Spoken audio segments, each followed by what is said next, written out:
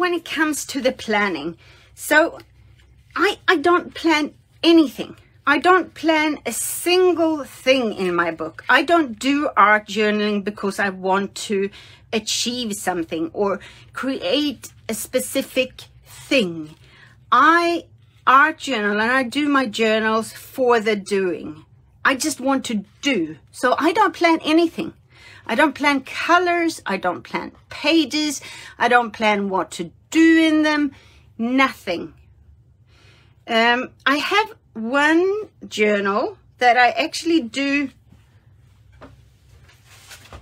um, that I I had a plan and that is my Faces of Flow which is a class where I did faces on every page so um, I did a face on on every page in this book um, because faces is something I get a lot of questions about. So I wanted to do a, an art journal with faces and different techniques and so on. So, so I think that's the closest to planning I have ever been in an art journal. Um, I have planned to do a face and I want to show different ways of adding them. So yeah, so saying I never plan, this is kind of a uh, was a plan?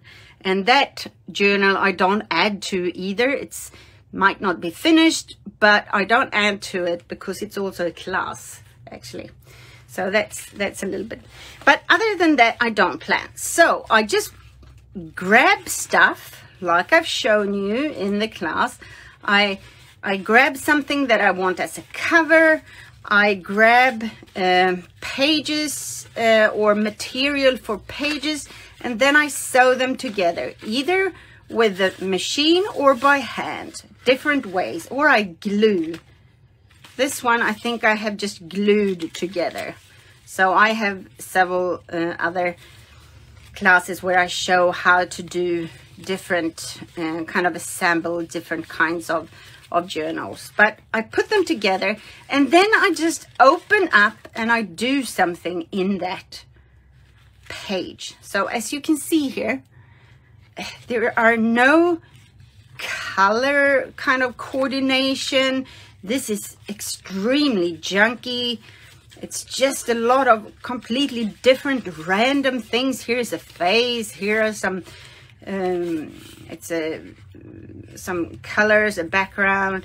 Uh, here is some uh, sewing and some uh, beeswax encaustic. Here's also encaustic and photos.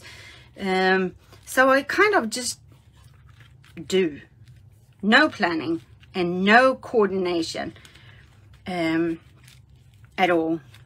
Uh, this one uh, is a tiny little one didn't take long to put together in here I have completely different things um, I have some uh, hand stitching, uh, I have some uh, journaling, writing, uh, I have a recipe, I have some doodling, and and it's just, you know, it's it's nothing special. It's just the doing. Um, here I have one that I've worked quite a lot in. Uh, and I just wanted to show how not coordinated this one is either. Um, just to flick through here this is uh, this is um, a rag this is uh, watercolor paper really thick watercolor paper I got a question about that how to add it in this one I just glued it to a piece of fabric. So I didn't fold and put it in. I actually cut it in two. So you can see it's cut in two. And I added it in with with kind of collage and fabric the two pieces. Because um, really heavy watercolor paper or any heavy paper can be really hard to fold and get it to work. So here I cut it apart and I glue them in um, see no color coordination just very different yet again very different very different again so here you can see No, no coordination between the pages, not at all. So you don't have to do that. You don't have to plan. You don't have to have a color scheme. Um, just open up your book and do something on this particular page that you feel like doing. Draw a face. Write something. Doodle. Um, do some uh, stitching. Um, write something in a pattern. Just splash some paint on it. Uh, use um, uh, use um, stencils or whatever um, technique you want to use that particular that particular day or that particular um, time. Here are some that are less. I, I think I have less stuff added to these ones. I wanted to show that. So here I had quite a lot of stuff added. Here I have a face. Here I have some fabric. And here nothing is added on here. Here I started to doodle, but I haven't really finished. Maybe I'll continue or maybe I won't. Uh, here nothing is kind of added more than some collage. Maybe this is enough. Maybe it can be like this or maybe I want to add something else one day. Here I've added a picture from a magazine and I started to draw on it. I didn't finish it. Um, maybe I will one day, maybe I won't. Um, started to draw. Here I've done some bits and pieces. Here again, a very kind of, I don't know, this might be stuck here.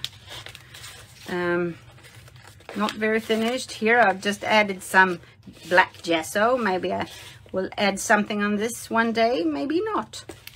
So is this finished or is it not? Ah, at the moment, I don't feel like I want to add anything to it. Uh, one day I probably will. Here's another one.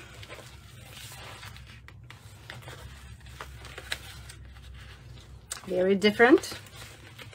Very different again. Here I tried to this is uh, also encaustic. I love to use encaustic in my journals. I won't do that in this class though, or show you, but you can do it if you, here it's crazy.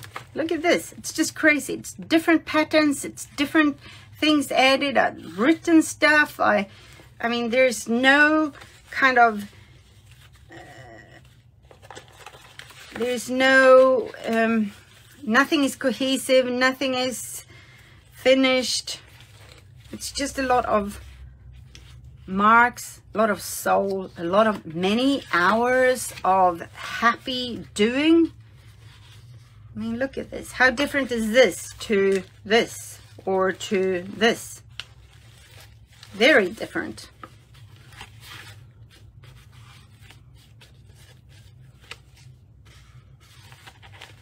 And this. Crazy okay